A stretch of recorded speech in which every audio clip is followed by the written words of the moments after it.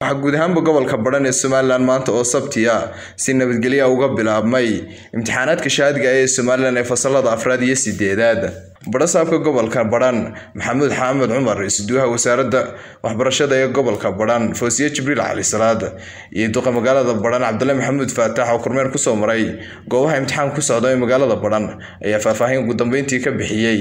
Sida ay imtixaanaadka uga bilaabmeen guud ahaan gobolka badhan iyagoo ardaydana u rajeeyey inay guulo wax ku-oola ka sohooyaan gelista imtixaankani iyo nisheeqa waxaa saaka ah ka bilowday gobolka baran dhammaantii oo gaar ahaan degmada baran oo aan hadda ka hadlayo. Imtixaanaadkii shahaadiga ahaa kaas oo somalilan oo dhan dhammaanteed ka wada bilowday isla saaka. Si habsami ah oo abni ah oo nabadgelyaha uu noogu bilowday kuna socdaa insha allahu ardaydan waxaan kula dardaarmayaa dee inay dadaalaan sidii ardayda ka horeysa u dadaali jirtay ish iyo maxaa la yidhaahdaayey moobeel iyo waxaasna ay xaaraan ka yihiin oo aan laguba baranba ardada baran ka gasha imtixaanaadka.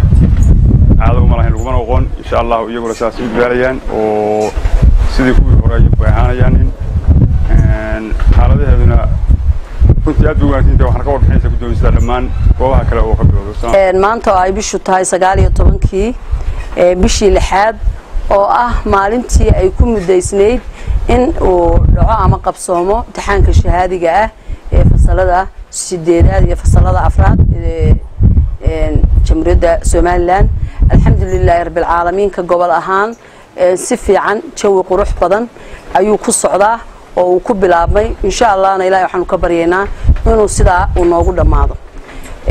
Taasi waa taa oo waa mahadnaq.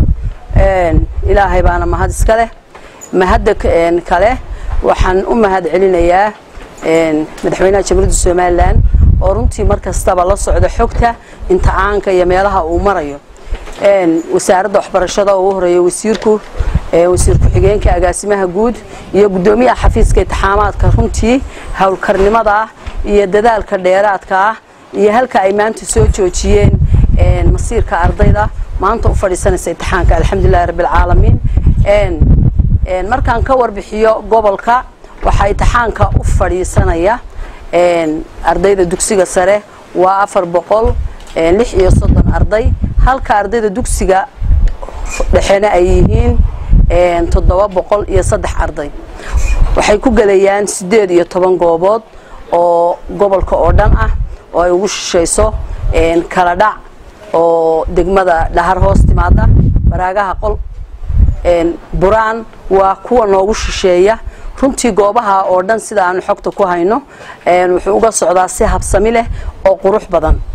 Runtii iyaguna waxaan u mahad celinaynaa oo nagala soo qayb galay oo na garab taagan badho saabka gobolka badhan maxamuud xaamud cumar iyo guddoomiyaha degmada guddoomiye ku-xigeenka runtii si fiican bay noo garab taagan yihiin.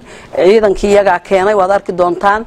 Marka maasha allah si qurux badan bay hawshaas u socotaa. Ilaahayna waxaanu ka baryaynaa inay imtixaankaas uu ku soo dhammaado guul.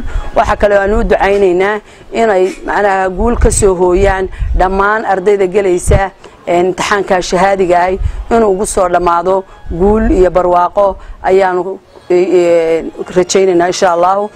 Waxaa saaka si toosa u furmay imtixaankii shahaadiga ahaa sagaal iyo tobanka bishii lixaad labada kun iyo koob iyo labaatan. Wuxuu guud ahaan uga furmay gobolka badhan xarumihii loogu talagalay si nabadgelyaaba uga furmay. Waxaan marka koowaad u mahad celinayaa rabbi subxaanahu wa tacaala.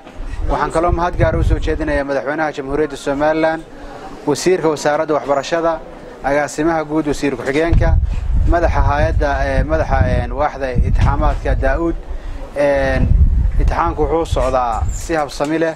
Insha allahu tacaala waxaan u rajayn doonaa ardayda gelaysa fasalada sideedaadka iyo foonfoorkaba.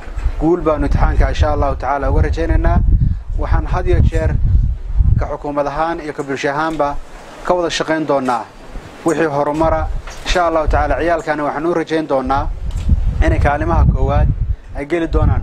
Waxaan ka codsanaynaa madaxa intixaamaadka iyo maaragtay wasaaradda waxbarashadaba maadaama aanu joogno meel koona in ardayda had iyo jeer tixgelin gaara naloo siiyo.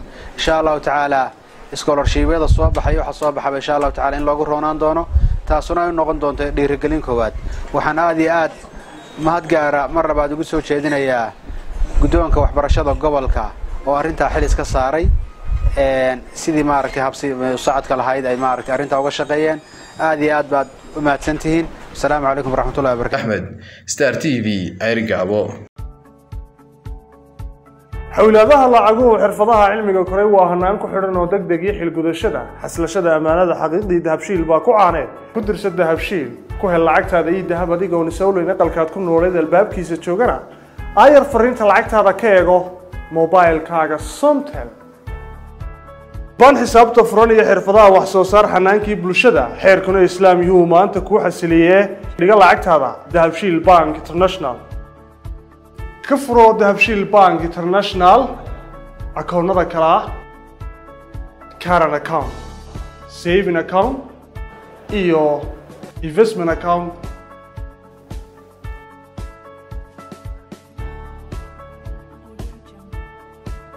ku xidho akoonkaaga dahabshiil bank international adeega casriga ee edahab adigoo isticmaalaya mobilkaaga somtel. Waxaad adeega edahab lacag ugu diri kartaa akoonkaaga lacagna lagaga soo diri karo. Si toosana ugala socon kartid dhaqdhaqaaqa akoonkaaga dahabshiil bank international.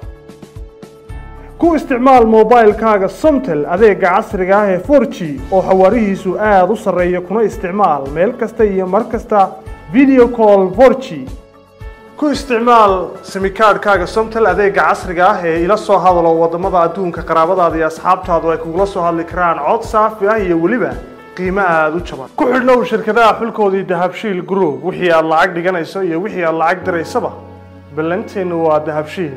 Dahabshiil group